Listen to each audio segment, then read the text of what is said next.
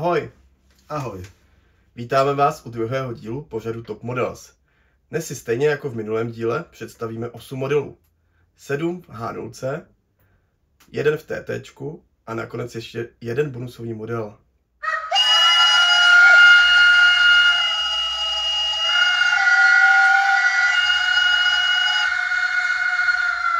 Všechny dnešní modely vám představíme na rozestaveném modulu stanice Žihle a při této příležitosti vás rovnou chceme pozvat na Benešovskou výstavu, kde se v budově Sokolovny ve dnech 4. a 5. května příštím roce uskuteční vůbec první setkání železničních modelářů. Jako první si představíme letošní novinky v elektrické trakci. Nejprve se podíváme na dva modely plecháče. Jeden od Tech Image, A druhý od společnosti Pico. Model od společnosti Pico je vyveden ve čtvrté epoše, je to model ČSD, katalogové číslo 97400. model od Tech Image je provedení ČD, pátá epocha, katalogové číslo 24 20 17 162. Tech Imageový model je ozvučen od výrobce. Model společnosti Pico je dekodem od ESU, není to zvukový model. Začneme modelem od Tech Image. Výrobce dodává model se zvukovým projektem od Sofero. Zvuk si zapneme klávesou F8.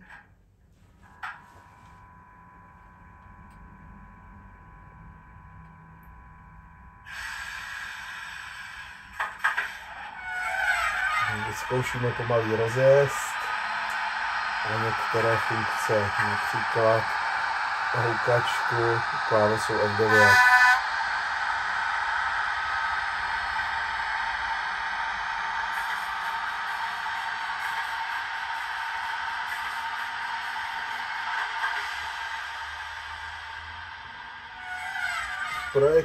Ve zvukovém projektu jsou dvě verze zvuku. Jednou nákladní vlak, po druhé nezatížená lokomotiva. Přepínají se klávesou 12.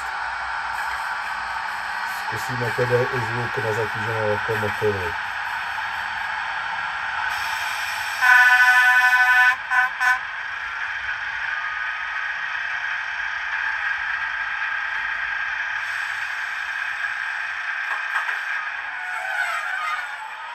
Je svižnější, je to vidět ten rozjezd.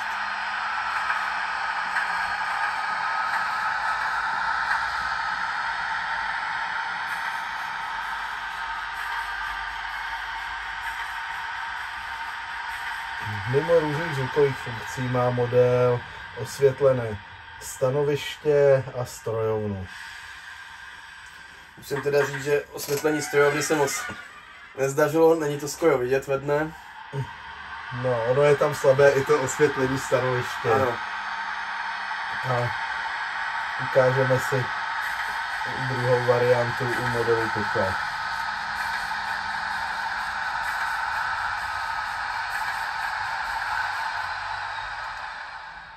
takže jako druhý si představíme model od společnosti Pico. Jedná se teda taky o plecháče a budeme moc vidět jednotlivé detaily. Model je tedy vybaven kodojem ESU Lockpilot 5, je tedy nezvukový. Začneme tím teda, že si zapneme světla a krátce popojedeme dopředu. Funkční klávesou F5 se rozsvěcí strojovna. Tady je jasně vidět, že to se Piku povedlo líp, že i při denním světle je to znát lépe. Další máme funkční klávesu F9 a F8, je první nebo druhé stanoviště se rozsvěcí. Klávesu tadyhle tu F7, nevím jestli to vůbec je vidět na videu, teda F7 jsou rozsvíceny i spodní osvětlení podvozků, ale nevím jestli to v tom denním světle vůbec vidět.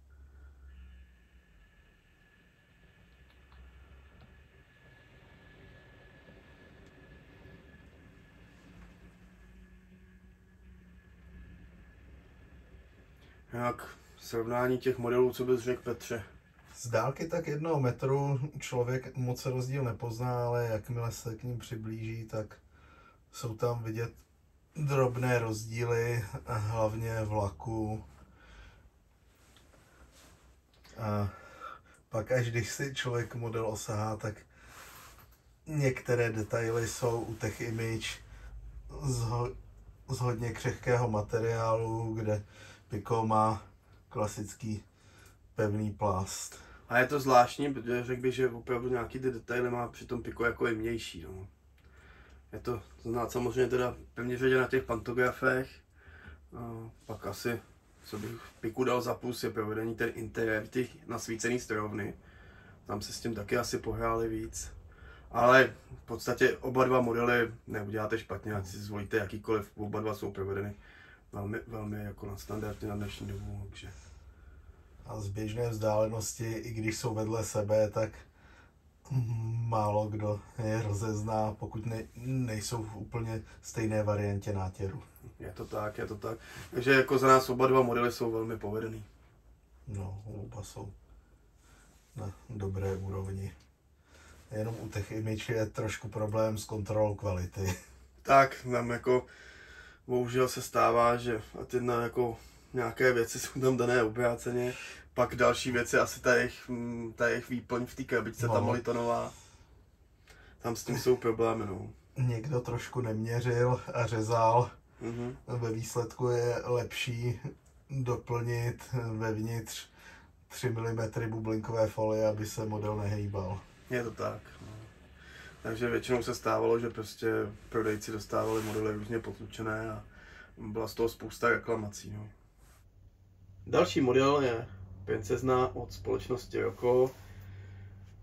Konkrétně druhý prototyp S499 2002. Je vyveden ve čtvrté epoše, čili je to ČSDčko a model je vybaven jenom klasickým dekodérem bez zvuku. Takže klasicky si zapneme světla a jen si s modelem popojedem na jednu stranu, pak na druhou.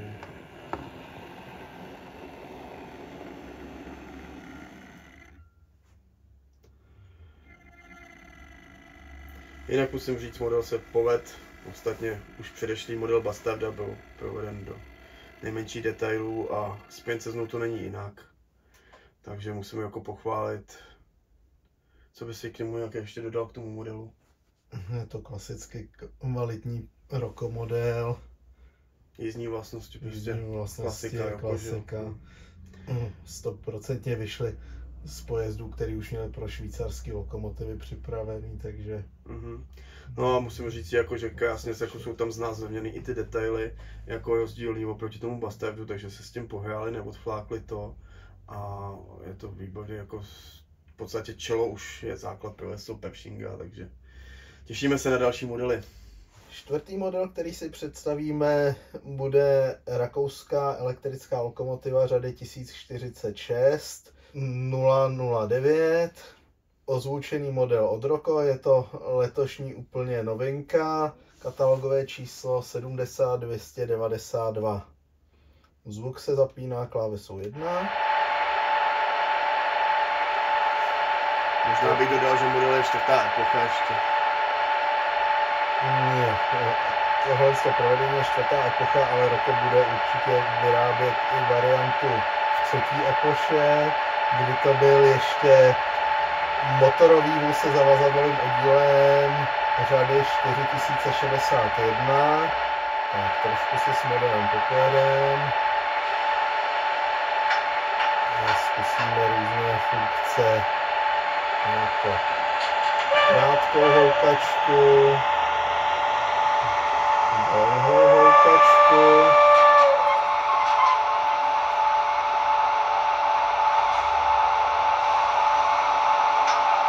S věšení šoubovky.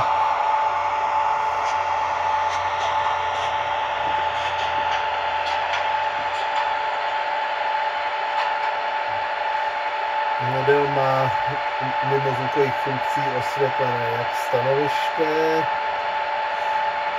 tak zavazadlový prostor.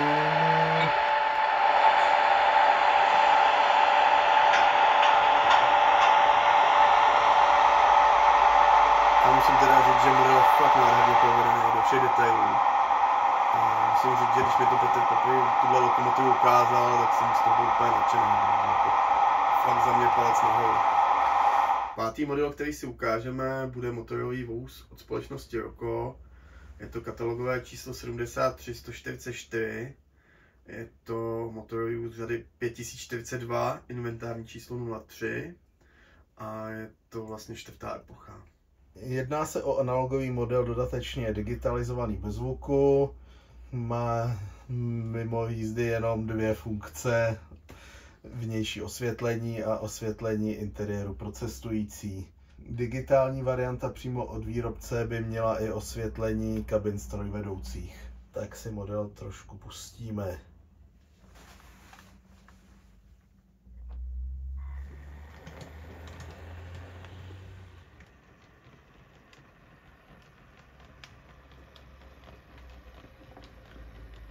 U modelu si můžeme všimnout jednoho z neduhů poslední produkce Roko a to jsou špatné kontakty na podvozcích. Takže Ale tak naštěstí je to věc, která se dá snadno odstranit. Prostě ty kontakty se jenom připružejí a problém zmizí. Tak co se týče detailů, tam není opět co vytknout, to je prostě, to je prostě roko, to je paráda. A skvělá prácička. Šestým modelem bude lokomotiva známá pod přezdívkou Všudy Bylka. Je to model od společnosti Roko, katalogové číslo 70080. Je to provedení čtvrtá epocha. A jedničkou standardně si zapneme zvuk a ukážeme si lokomotivu v pohybu.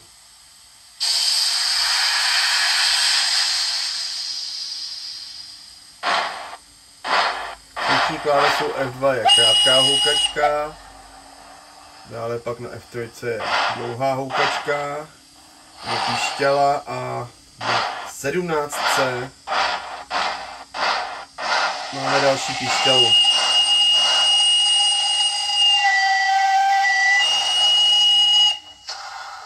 Tak.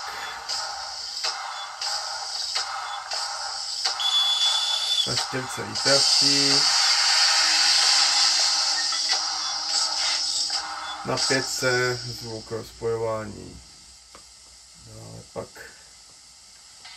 tuším, že na sedmičce zvuk přikládání uhlí.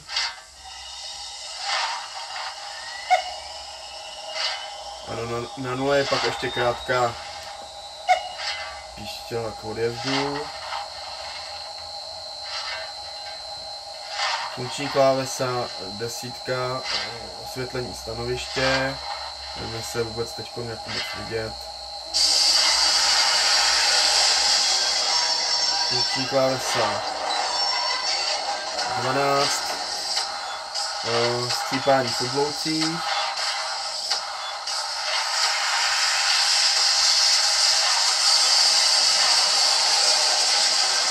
Jo, teď aktivovaná.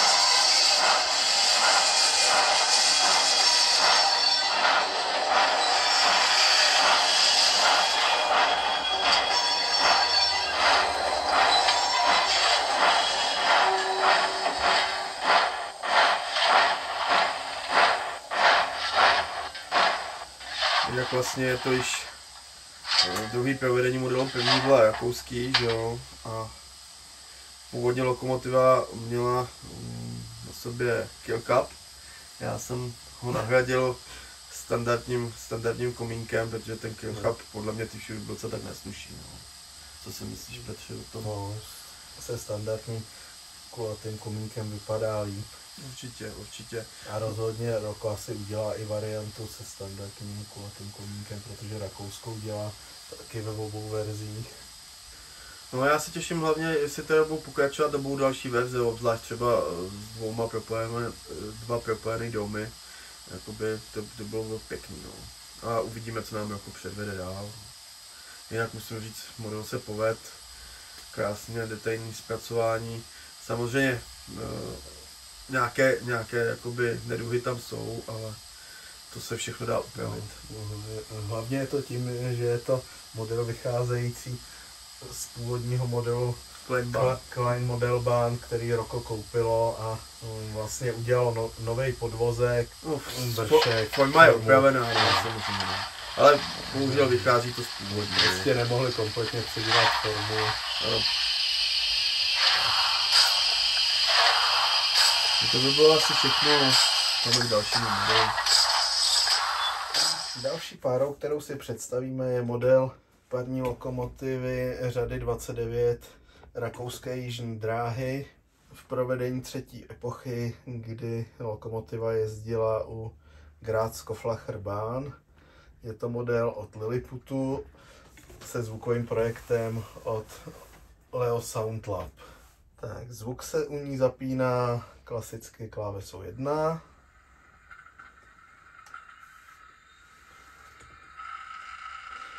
V lokomotivě jsou tři zvukové sady, jízda při běžném provozu, pak s těžkým nákladním vlakem a jízda výběhem. Má několik píšťal, například krátkou na klávese 2, dlouhou na klávese 3,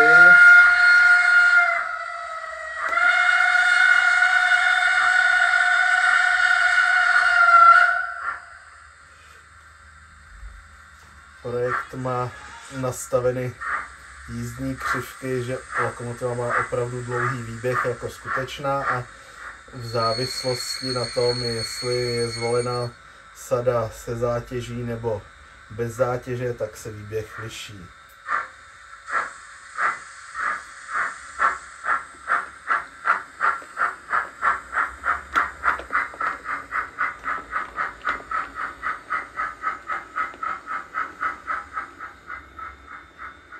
No pomalu jdeme do finále. Osmým modelem, který vám ukážeme, je model parní lokomotivy od společnosti Tilik. Je to model ve velikosti TT. Jak jsem již nikomu sliboval, že nebudeme dělat jenom hánulky, ale občas vám představíme i TT, tak slib nyní dodržujem. A je to model řady 555.1, konkrétně inventární číslo 108. Je to depo Ostrava, a model je vyveden v epoše třetí. Model je jenom teda pouze analogový, bez dekodéru a jenom vám ho ukážu v podstatě v jízdě vpřed a vzad a pak si ho ještě ukážeme v detailech. Jinak jako musím říci, že model se fakt poved a jsme ve finále. Ale na začátku jsme si slíbili, že vám ukážeme ještě jeden bonusový model a tím modelem bude, řekl bych, eh, jedna z nejznámějších parních lokomotiv. Bude to Malard ve velikosti TT od A- Hornby. Ano, ano, je to přesně tak a vlastně kdo sleduje, co se ve velikosti středu děje, tak ví, že koncem letošního roku Hornby oznámil návrat do velikosti TT a v podstatě je to konečně v Anglii pořádně dělaný, eh, dělaná modelová velikost, protože modely 00 nebo modely N jsou v nepoměru, že jo, takže No, jsou podle imperiálních měřítek přepočítány, takže rozchod je ve skutečnosti menší než standardní. Přesně tak, takže jak se mi angličani říkají, konečně máme správnou modelovou železnici a my si Malavře ukážeme jenom uh, po pojíždění, protože zatím model nemám vybavený dekodérem, i když výrobce už z výroby umožňuje dodávat ozvučené modely. Ještě než uh, si model pustíme, tak bych chtěl výrobce pochválit, že opravdu se nezadá se svou větší sestrou, která je v měřítku 00 a opravdu všemi detaily prostě odpovídá své větší sestře. Tímto jsme se opravdu dostali do finále a my se s váma chceme rozloučit a někdy u dalšího příštího dílu, asi nejspíš zase za rok. Ahoj! Vypadá to, že opravdu až za rok, takže ahoj příští rok. thank you